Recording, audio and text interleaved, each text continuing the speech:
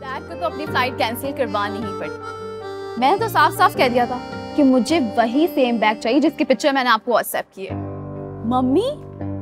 Mummy तो like so much aggressive बहुत गुस्सा किया उन्होंने मुझ पे, लेकिन dad you know my dad he is the best उन्होंने कहा फ़्लाइट जाती है तो जाए, लेकिन मैं अपनी बेटी की पसंद का बैग ज़रूर लेके आऊँ। And see guys finally I got my hands on my favourite branded bag see. Wow यार Anam you are so lucky पता है मेरे बाबा तो जब भी अब्रॉड जाते हैं शॉपिंग पे वहाँ से कुछ भी लेने से मना कर देते हैं।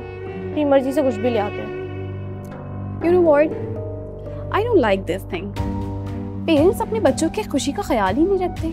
ना उनकी पसंद का ना नापसंद का। थैंक गॉड मेरे डैड ऐसे नहीं है।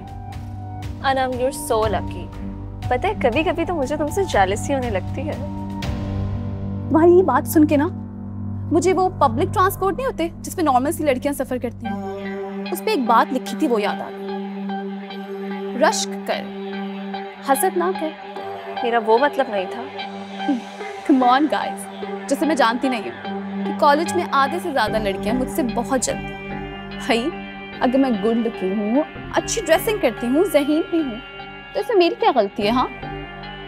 आई मीन क्या मेरी कोई लाइफ नहीं है। अरे यार वो मज़ाक कर रही थी तुम इतना सीरियस क्यों हो रही हो? मैं जानती हूँ। तुम लोग तो मेरी बेस्ट फ्रेंड्स हो ना? फ्रेंड्स फॉर एवर हमेशा हमेशा के आई गेस मेरी वैन आने वाली है हाँ? या आई एम लेट चलो मैं निकलती हूँ। See you guys tomorrow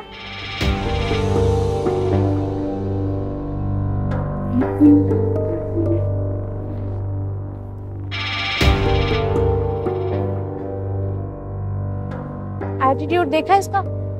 पता नहीं अपने को क्या समझती है।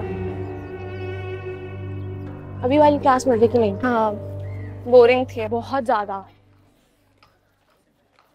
बाय द वे ये अनम कुछ ज़्यादा ही रूड नहीं हो रही आजकल? हाँ मानती हूँ कि अनम क्लास में सबसे ज़्यादा स्टाइलिश है वेल ड्रेस है। इंटेलिजेंट भी है लेकिन इसका मतलब ये नहीं है कि उसके जो दिल में आए वो अपने फ्रेंड्स को बोलते। सही कह रही हो यार।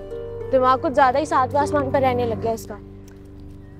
वैसे मुझे एक बात समझ नहीं आती।